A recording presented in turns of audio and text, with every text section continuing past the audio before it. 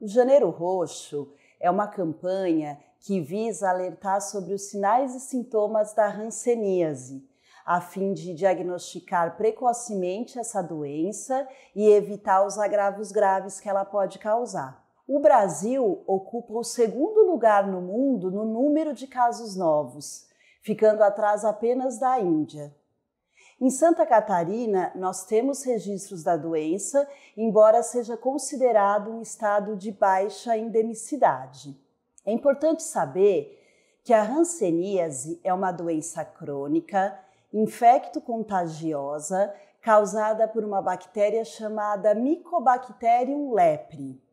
Essa bactéria, ela tem um crescimento lento então, os sinais e sintomas clínicos aparecem cerca de 5 a 10 anos após o contato com a bactéria.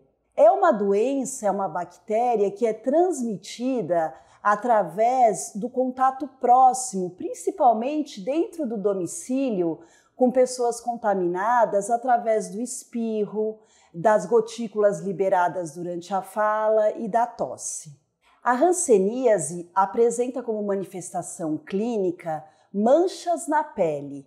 Essas manchas podem ser esbranquiçadas, amarronzadas, avermelhadas. E o que chama atenção é a perda da sensibilidade nessas manchas, ou seja, temos perda da sensibilidade tátil, dolorosa e térmica. Além disso, a bactéria, a Mycobacterium lepre, ela tem um tropismo, ou seja, uma preferência para os nervos periféricos.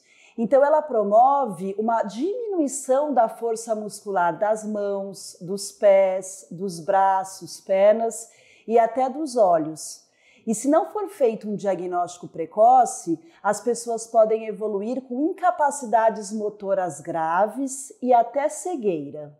A hanseníase tem cura e o tratamento é ofertado pelo Sistema Único de Saúde. Ele consiste na composição de antibióticos e o tempo de tratamento pode levar de seis meses a um ano e meio, dependendo da forma clínica classificada pelo médico.